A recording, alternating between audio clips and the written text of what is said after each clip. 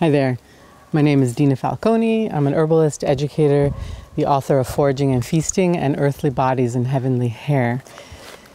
And what's happening right now, we are in late, late fall into early winter, and it is bark study time.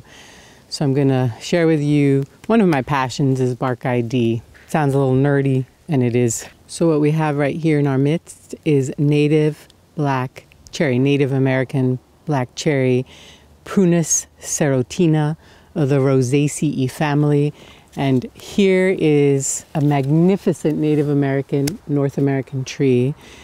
And how are you going to ID it in the winter? That's really what we're talking about. What goes on here with its bark? And we have here in our um, presence, I'd say a tree that's probably 40 years old. And the bark really changes. I'm going to show you a younger bark in a moment as well. But how would you describe this bark? And we're going to get to that in one second. I also just want to share with you what's amazing about this tree. How is it used for food and medicine? This tree has fruits that hang down in these long racemes that we can eat. So it's a, it's a wild cherry and they're black when they're ripe, but you don't eat those seeds. Cherry seeds have cyanic acid or procyanic glycosides. So you spit those seeds out, you eat that fresh seed. What else is amazing about wild cherry or black cherry, this Prunus serotina, is that it is considered an, an excellent herbal medicine related to upper respiratory and also related to digestion and lower gut issues. So it's used as an antispasmodic, an anti-inflammatory, and astringent. So you're going to use it with intense coughing, with cough spasming, with gut spasming. So you've got a very nice ally here, and it's the bark that's used, not this rough outer bark, but the inner bark that's used. And what else to say? So the inner bark is used, but it also has hydrocyanic acid, potential toxicity. So you're really using this only when needed for short periods of time. Um, and again, if you're pregnant, you're not going to use it. So, but this is a really wonderful antispasmodic herbal ally. So let's now get into showing you what the bark looks like up close. Getting involved with the bark here.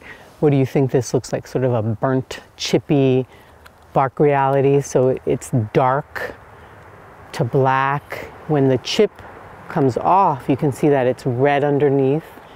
Um, it's turning, curling these chips, and it's very peely, it's very barky. And again, you have that beautiful red brown underneath. But this, you could say, has gra gra uh, gray, gray ground, gray um, to really blackish. And again, just for you to let your eye roll over this bark and really take it in. The idea is for you to imprint the pattern so you know this tree from its bark. Where are you going to find this Native American beauty? In USDA hardiness zones 3 to 9, in full sun to part shade, in moist to dry soils, not floodplains though, and in fields, in woodlands, in forests, in disturbed soil sites. Here I've picked a branchlet for us. Part of ID is that you smell black cherry. So you actually want to scrape it. So you're scraping and smelling and it should smell like funky bitter almond. Got that? So you want to make sure that's happening. I actually find it very pleasing, but it might not be appealing to everyone. And then other things that occur with this black cherry is black knot. So this is a fungus that attacks it. So you'll often see that as well. And next I just want to show you up close uh, winter bud and winter arrangement. Here's a beautiful view for you of the black cherry winter buds happening right there. And you can see that they alternate because the leaf arrangement on black cherries is alternate.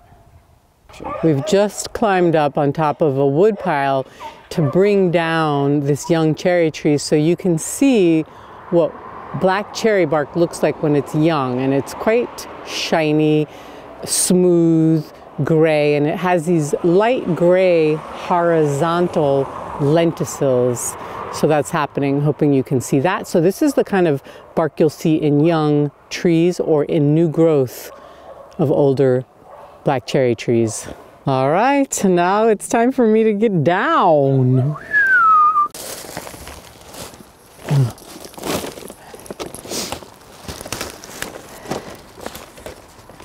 Make bark study be part of your winter reality. You know, I'm super excited about bark study.